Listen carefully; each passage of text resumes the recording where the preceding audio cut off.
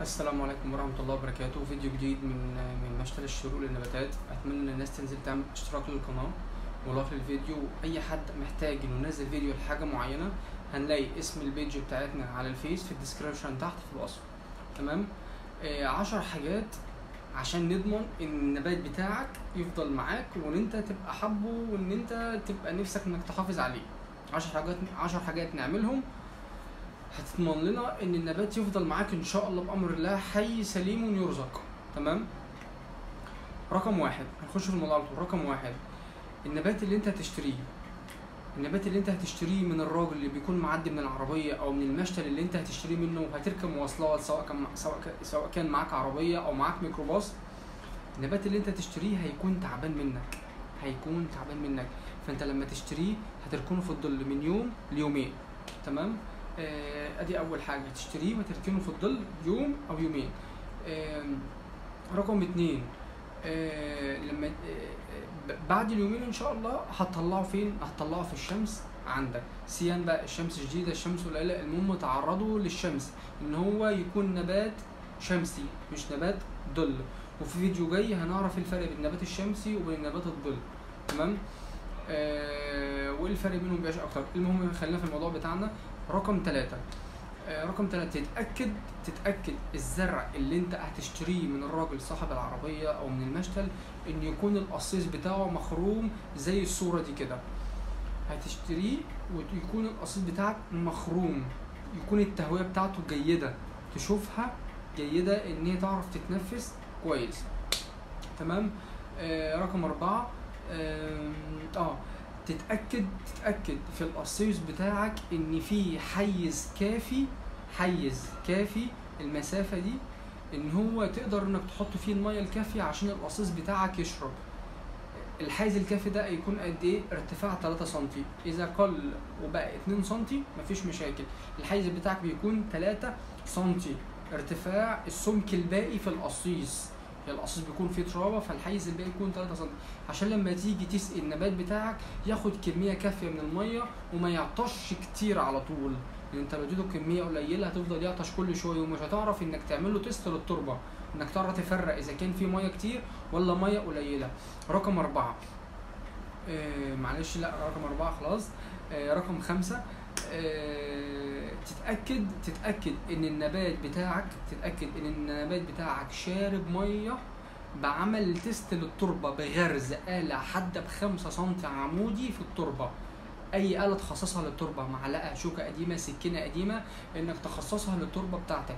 تغرزها 5 سنتي أو 7 سنتي أو 10 سنتي سيان سواء إذا كان القصيص كده مثلا حجمه ارتفاعه 20 سنتي هنغرز 5 سنتي. القصيص بتاعك 40 سنتي نغرز 10 15 سنتي.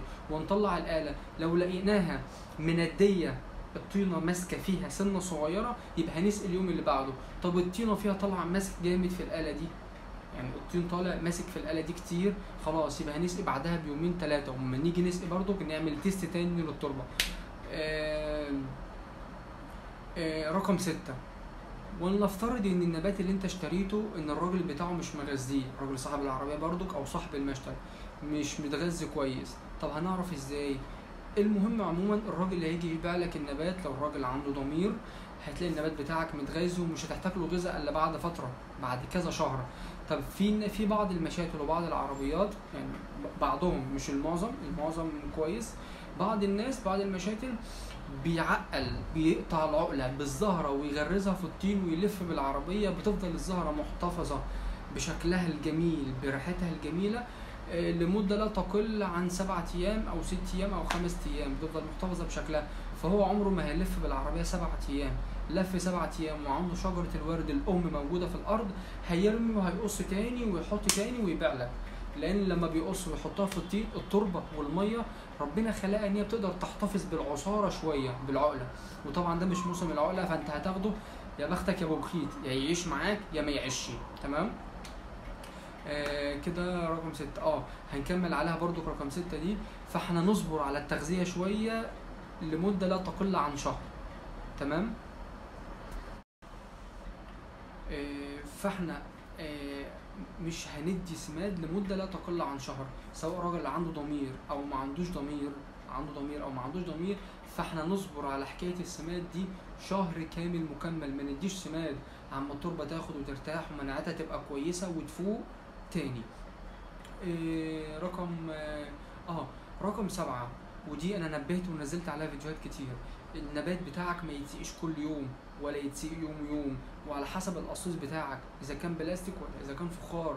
القصيص بتاعك لو كان بلاستيك والشمس عندك موجودة طول اليوم زي اليومين اللي هم اللي فاتوا بتوع الحر هت... لو عندك القصيص بلاستيك هتسقي هتسقي كل من يومين لثلاث أيام. هتسقي من يومين لثلاث أيام لو القصيص بتاعك بلاستيك وتعمل test للتربه برضك قبل ما تسقي.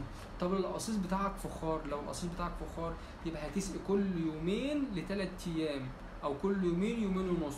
الفخار بيقل نص يوم لأن الفخار جيد التهوية لأن الفخار بيكون فيه برضه خرم واحد بس صغير تحت في القصيص وهو الفخار ما شاء الله.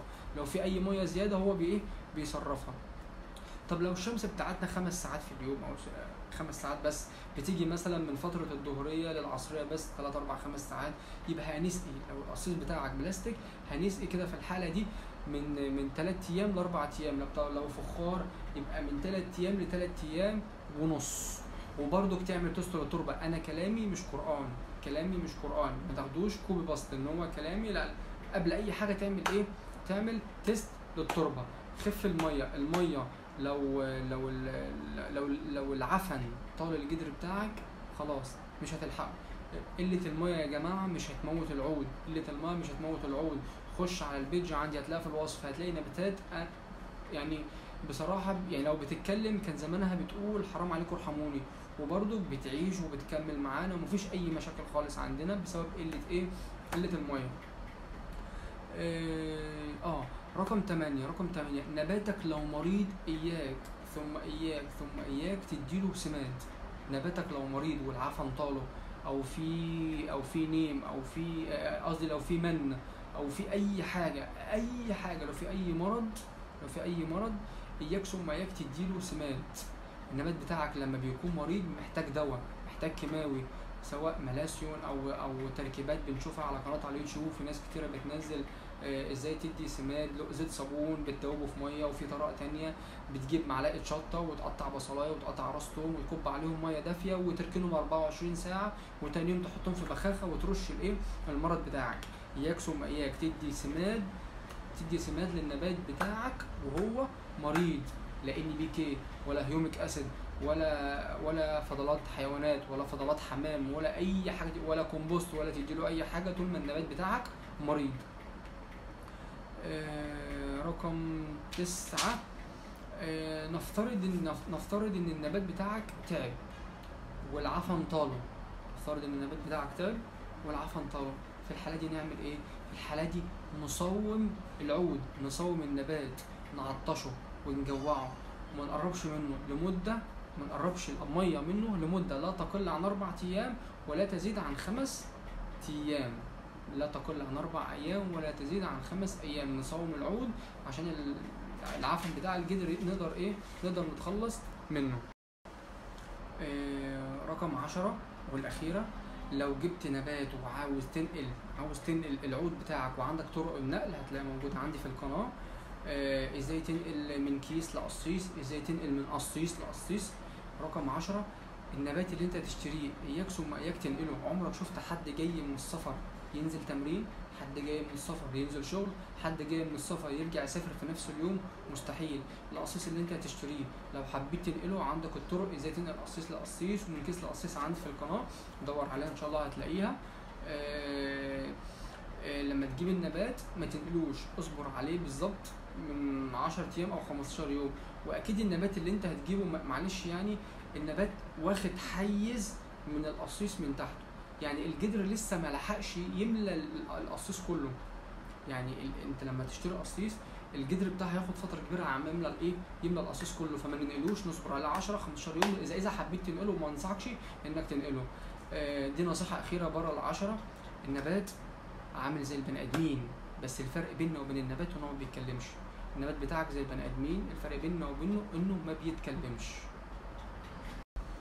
آه، يا ريت يا جماعة تدعمونا ب like للقناة واشتراك للفيديو آه، وأي حد محتاج آه، إحنا إخوات من غير أي حاجة بدون فزلكة مني أو بدون إن أنا بتنصح على حضراتكم إحنا إخوات من غير أي حاجة بنتعلم من بعض وموت ابن آدم وهو بيتعلم آه، وما اوتيتم من العلم إلا قليلا. أي حد شايف إنه عاوز ينزل شيء معين أو عايز يسأل على حاجة معينة إحنا إخوات. أنا لو مش لو, لو أنا مش عارف أقول مش عارف من قال لا أعلم فقد أفتى.